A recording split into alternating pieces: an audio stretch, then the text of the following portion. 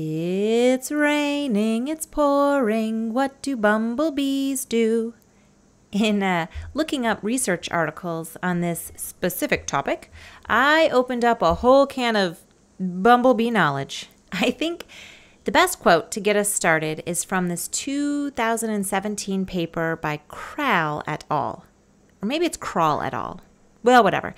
They say bumblebees are relentless foragers. That really does sum this up. So, okay, they're relentless foragers. Can we get to the rain thing? Okay, so in the things that often lead up to rain, maybe it gets windy, gets cloudy, the barometric pressure changes, the temperature might drop down a bit, the humidity might go up a bit. Bumblebees, they just keep foraging. They keep looking for nectar and pollen in all these things that lead up to rain. Now, this is super notable, people. Most bees, especially honeybees, which honeybees are non native, to be clear, but um, they're really wimpy with all of these things that lead up to rain honeybees especially. When it's a little more humid, if it's maybe a little too dark, if the wind kicks up a bit, maybe the temperature goes down too much, they are friggin' out of there. They're done. Honeybees stop foraging. Bumblebees, though, they just keep on keeping on. Actually, this is interesting. In the day before it rains, honeybees notably forage more intensely. Most likely because when it rains, they will stop foraging. And they know it. They know they're wimps. But bumblebees, they are relentless. They are extremely well adapted to handling wind, even crazy gusty wind, like there one second, gone the next, coming from this direction, now that direction. Bumblebees, they've got it covered. They have tactics to handle wind. They have tactics to handle less light. They have tactics to handle lower temperatures.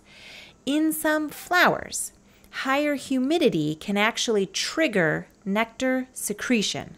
So, being able to handle humidity potentially gives bumblebees a bigger nectar reward than usual. Get this bees don't really shiver. In fact, insects altogether don't really shiver. But Bumblebees do.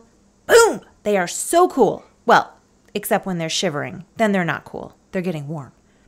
Okay, so in all the weather conditions that lead up to rain, bumblebees are king. They are the champions, my friends. And then, when it lightly mists, they keep foraging.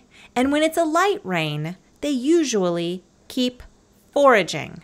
And then heavy rain, maybe a downpour. Well, everyone has their limits, even bumblebees. So when it's strongly raining, some bumblebees do continue to look for nectar and pollen, but most bumblebees do take shelter then. Okay, so number one, how do they take shelter? And number two, why do they take shelter? I thought they were bad weather champions. So, for number one, there are two ways that bumblebees can take shelter. For the first way of taking shelter, it depends on what season it is, what gender the bumblebee is, and uh, where a bumblebee colony is in its development. So, bumblebee colonies only last a year. There's this year long bumblebee colony life cycle, if you will. And so, some bumblebees might actually go back to their nest in a downpour. And again, this just depends on whether you're looking at a male or a female, and then what their purpose is. Like bumblebees will go through these solitary phases and social phases. And there's nesting, mating, foraging, overwintering. So, all these changes over the course of a year. And so, these changes uh, make a difference as to what they'll do when it's raining. Most bumblebees, though, it will not be worth the energy to fly all the way back to the colony or the nest. And so, the second way that a bumblebee can take shelter is by just using a flower or a leaf, usually a flower. When the rain gets really hard, they literally hide under a flower or under like a flower spike or in a flower if it's big enough. And so this protects them from the rain. And honestly, it conserves a large amount of energy that they would have expended going all the way back to the nest. And honestly, what would be the point if they're just going to go back to foraging when the rain is over anyway? So they hide under or in flowers or flower parts, and sometimes under and around leaves too. So that's how they take shelter. They either go back to their nest, but more often, uh, well, again, it depends where, you know, the gender and where, what season we're in and everything. Uh, they will just hide where they are, shelter in place. So um, that's how they take shelter. So, why do they take shelter, these rain weather champions? So, there's a few things that happen when the rain really picks up that can end up being a problem for bumblebees and bees in general, really. So, nectar in flowers can become diluted when it rains. That's not so great for bees. Pollen can actually become degraded when rain is really heavy. Also, not so great for bees. Uh, there's one flower that I read about, there may be more, um, that has this anti parasite chemical in its nectar that helps bumblebees not get this parasitic infection. So, again, there's a flower that in its nectar it has a chemical that helps the bumblebees not get this parasite infection. The paper I read did not say this, but I suspect that that anti-parasitic chemical probably also gets diluted in heavy rain because nectar gets diluted in heavy rain. And that's not so great for bumblebees. Uh, large raindrops can knock bees around in their flight, and bumblebees are really the only bees that handle this quite well. But there are limits, right?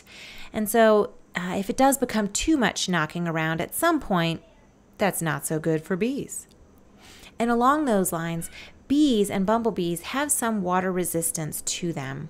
However, when it's too much water that comes too quickly, that hydrophobic water resistance to their cuticle and their little hairs, uh, even on their wings, uh, it doesn't work so well anymore. And when that happens, that's not so good for bees. Also, rain. When it gets really heavy, it can possibly wash away olfactory signals that the bumblebees leave on flowers. So, yeah, bumblebees leave smells behind on flowers for themselves or for others in their nest. Uh, and actually, some other insects and bees can also detect these smells and learn things themselves. Um, and so they leave these smells behind for themselves or for others uh, that, well, that say whatever it is that bees talk about. And those smells uh, can become washed away when the rain is really heavy. And so that's not really good for bees. It's ruining some of their communication. And so there's lots of reasons to take shelter when the rain becomes quite heavy. And bumblebees do take shelter in or on a flower or flowers or a leaf.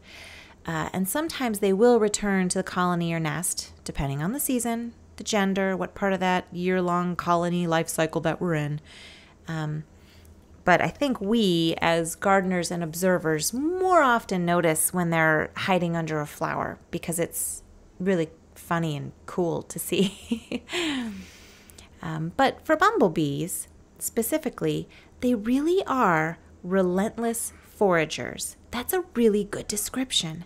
They take shelter from very heavy rain, but anything less than that, and usually they're still out there looking for nectar and pollen. They are workhorses. They are champions. They are bumblebees.